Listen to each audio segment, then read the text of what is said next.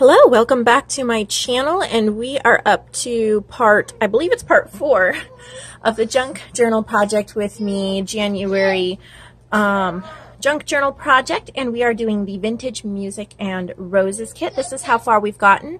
We have, I cannot see the screen on my phone very well today so I hope I'm in frame. I think it's the lighting. All right. Um, Anyway, we've done our cover and we've put in our pages and we've coffee dyed our pages. We've made and attached our tassel. So today we're going to be talking about making layered tags to put into our journal. So if you purchased the kit, you received three tags that look something like this. If you're making it and you hadn't purchased the kit, you could use any tags that you either make yourself or, you know, whatever. So what we're going to do is take, also if you purchased the kit, you should have received a little music punch out. Um, this is from the 1930s, sheet music. And then an assortment of, um, what are these called? Pieces of ephemera and different uh, scraps and things like that that you can use for layering. There is no right way or wrong way to do this. It is just totally up to you. A couple of extra supplies that might be handy to have would be ink. I have a gold and a dark green, a pair of scissors, and some kind of glue or adhesive. I really prefer a glue stick. And I've been trying out this Scotch Create permanent glue stick and it's about $2 at Walmart. Anywhere else I've seen it is expensive, but I think it's $1.97. Um, and I really like it. I think it works excellent. My only complaint with it, and it's not really a complaint because it does show how um, strong the glue is.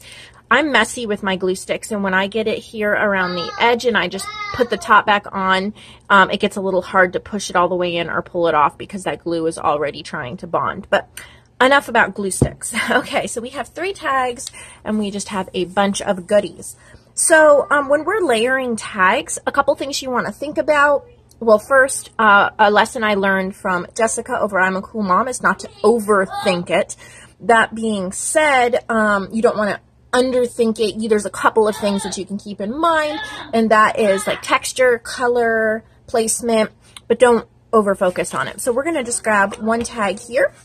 In my pile of stuff, I have um, some dictionary paper. You may or may not, you know, have one or all of these. And there's a lot of background noise. My three-year-old is deciding to do sound effects, so. And then I just put the glue stick. You can use like a collage medium or a Mod Podge or something like that. I'm not going to do that. Um, I find that this glue stick works quite well. And you're just going to start building up your layers. In my kit here, I have this mini bingo card. And, you know, if you've purchased a kit, you've received all different little scraps. If you did not and you're trying to make it um, and you want the kit, there's still kits available. And because later today, I will be releasing the kit for February, which is super exciting. There'll be an extra video today about that. Um, I'm going to be reducing the price on the leftover kits and they there's no coupon code or anything needed. Just head over if you are wanting to pick one up.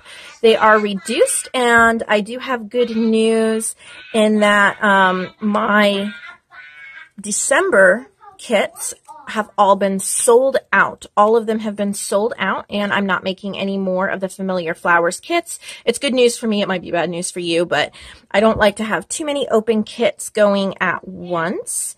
So um, here I'm just adding a little bird from this, this little um, page here, this book page, teeny tiny book page, and there's a nest on this side that I think I'm going to cut out as well. So all I'm doing is just layering. I'm covering the background with bits and pieces of paper. This is kind of one of my new favorite things to do. I'm not very good at it, so I feel kind of awkward teaching it to you since I'm sure most of you are much better at this than I am, so just do your own thing. But I'm just kind of giving an idea of you know, some of the things that you can do. So talking about, I was mentioning about um, the kits. So the new kit will be listed later today so that we can get the February um, dates all squared away. but I still have some of the January left. So if you were wanting to get one and you hadn't gotten one yet, get them before they're gone at the reduced price. So enough of the sales pitch. Let's keep keep crafting. Okay, so since I ripped this piece of paper, and I hope I'm not getting out of frame, guys, and there's too much white on it. It has like a white core. For me, I'm taking my gold ink pad and I'm just kind of inking the edges so it's not such a stark white. I sure hope that I am in center. There we go. It's one of those things. I don't know why my phone is. I think it's just the glare of the light on it. Normally I can see what I'm doing in frame. All right. So that you can stop um, adding and building to it whenever you want. Um, like I said, there's no right or wrong way. I'm just cutting this little flower out of this scrap of paper here.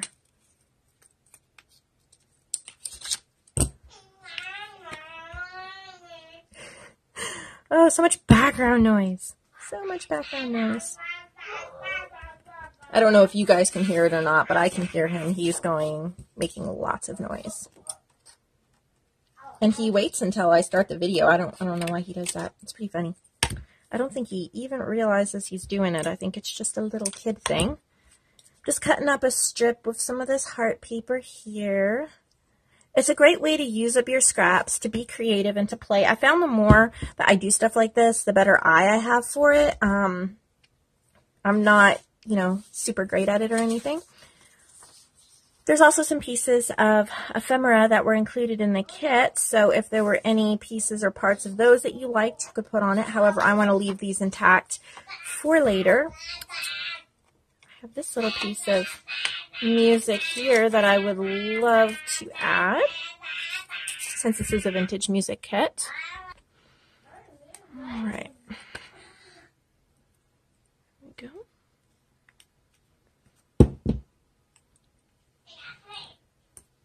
And I'm just, see, I'm just building up the background little by little here. And now I'm just going to probably get a couple pieces to fill in. See, I have a little bit of background tag here. So I'm going to just rip, excuse me, this corner off. Right there and cover that. And then I'm going to see, um, I have a little bit right here. I don't want to cut up my leaf.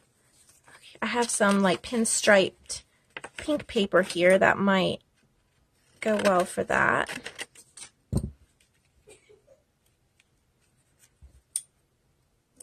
So just cut up bits and pieces and play. Have fun. Just glue them all on your tags. This is 110 pound cardstock, the tags that are included in your kit. So they're, you know, quite heavy and they're going to be able to take a lot of what you throw on it. Okay, and so then I have this area up here. I don't know what I want to put there. I'm just looking through my pieces.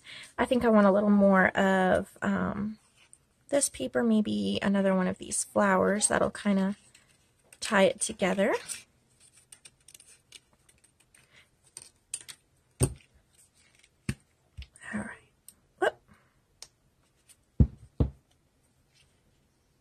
So now I've pretty, what, loose.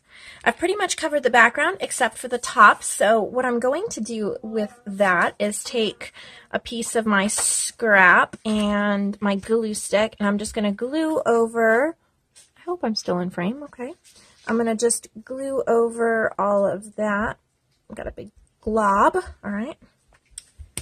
And then I'm going to, hold on. I'm going, I want to use this paper here, so I'm just going to, oh, I don't think that's what I wanted to do. Yeah, I guess it is. Why not? No, it really isn't. I wanted this side up. Sometimes I get backwards like that. I don't know what side up or down I want. All right, so I want it like that. And then if I flip it over, I can just cut around the tag like so.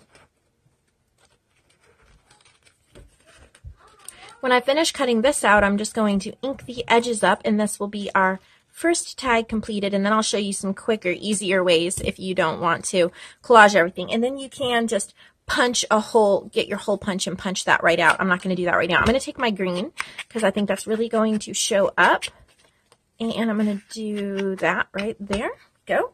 So there's tag number one. I love the collage element to it. But that did take a while to piece it all together. So what you can also do is look through the pieces of ephemera that you got and find one that you like. I like this rose here. Everybody got the same um, pieces of ephemera in the kit. So you can use the same one I am, or if there's another one that you liked better. The pieces of ephemera are printed on um, presentation paper. They're not as thick, and I'm going to be showing you in another video how we can reinforce those for making journaling cards and things like that. Uh, this is another way, obviously, to reinforce it. I'm going to take my green again and just ink the edges so that it really stands out on the tag. And then I'm going to take my glue stick and glue. And what I can do as well, I should have done that first because this glue is going to dry. Um, I can get a backing paper. We'll do that this way. Okay and I can place it on the backing paper instead of on the tag. And then you've seen me do this lots of times. It really adds lots of texture. Just kind of rip around it and leave that ripped look. I'm having a hard time staying in frame today, guys. I apologize. Because I really can't see my screen today. All right, there we go.